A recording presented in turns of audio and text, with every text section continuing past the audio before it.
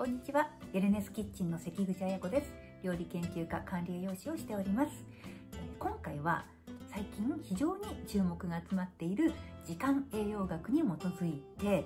食べるものは全く制限なし糖質制限とか脂質制限とか何もなしいつもと同じものを食べていても時間だけを制限します自然に痩せていくしかも継続的にリバウンドがなく痩せていくというダイエットについて最新の知見をもとにお話ししたいと思います。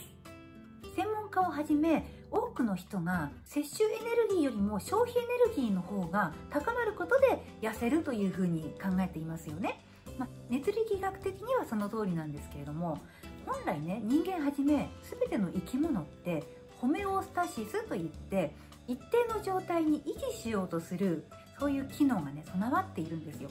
で例えばねあの日中の活動が盛んな時はエネルギーをどんどん回転させてで活発に動けるようにしようというね機能が働いてで逆に休息中寝ている間とかは省エネモードにしてなるべくエネルギーが枯渇しないようにとキープしようとするね。もうエネルギーがいつもと同じぐらいの状態に安定できるように働くようになっています。それがあの体内時計によってうまくオンとオフという感じで代謝のスイッチが変わっていくんですね。例えば運動をすることでお腹が空いてたくさん食べてエネルギーをしっかり取り込もうとするし逆に食べなくなると省エネモードになって代謝が落ちるようにできているんですね。そうすることで私たちの体というのは一定のエネルギー量を保つようにしてなるべく安定したパフォーマンスの良い状態をキープしようとして消耗しないようにしようとするスイッチがあります。なのでその活動の高い時間帯になるべく食事をとるダイエット法なんですね。是非それを最新の知見とともにお話ししていきたいと思います。ここで時間栄養学の象徴的な研究報告をご紹介したいんですけれどもアメリカのソーク研究所というところのパンダラボというねあのところの研究によるとマウス24時間だらだらいつでも食べられるようにしているマウスとある一定の時間帯に区切ってその時間帯だけ自由に食べられるようにしているマウスの比較をしたんですね。どちらも1日の摂取カロリー量は同じです。でその結果によると24時間だらだら食べている方のマウスというのは太り出したんですよ。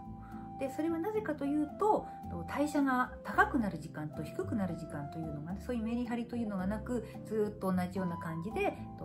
代謝のリズムがこう変わらないような感じだったんですね。それによって脂肪をどんどん合成するような体質に変わったということなんです。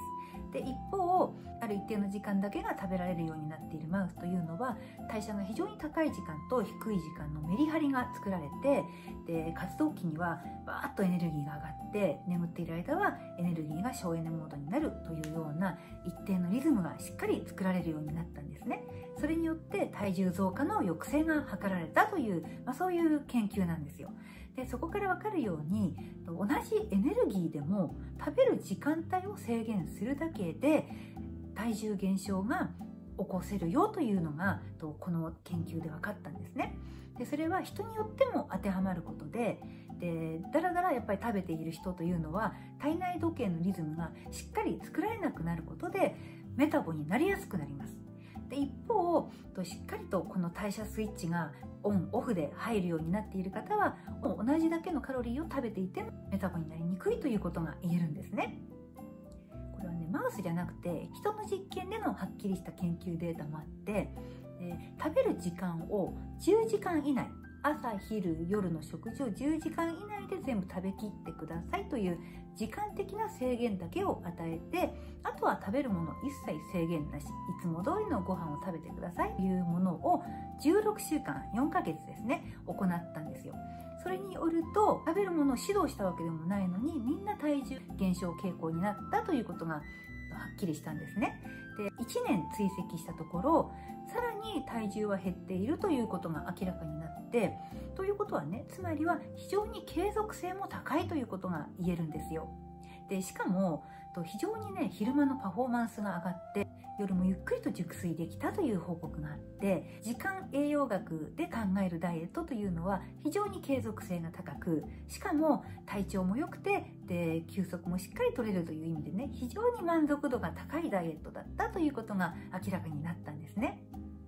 今までいろんなダイエットをしてもなかなか成功しなかったという方食べてきたものを変えずに時間だけをある一定の時間に制限するという時間栄養学的ダイエットぜひチャレンジしてみてはと思います。